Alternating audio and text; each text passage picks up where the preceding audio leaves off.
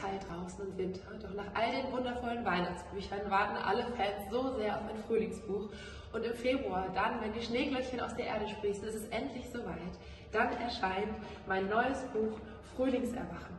Blütenzauber und Rezepte aus dem Heldenrathaus. Es beginnt mit dem Frühlingserwachen dann, wenn der erste Schnittlauch im Garten auf der Streuobstwiese wächst, wenn die Bienen wieder summen und dann kreieren wir die allerschönsten Rezepte. Zu Ostern gehen wir in den Bärlauchwald, wir feiern einen Tanz in den Mai, zelebrieren einen Rosencafé, ein äh, kleines Rhabarbercafé mit den Kindern und feiern Mitsommer im Juli. Und ich freue mich so sehr auf diese Zeit.